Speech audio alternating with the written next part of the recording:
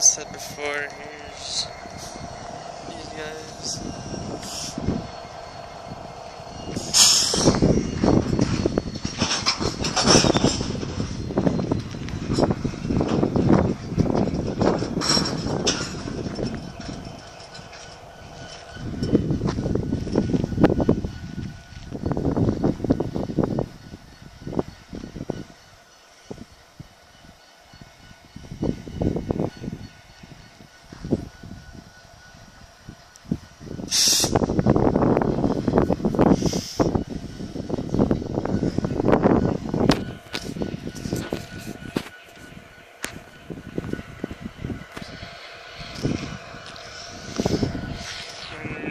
Line of cars they have.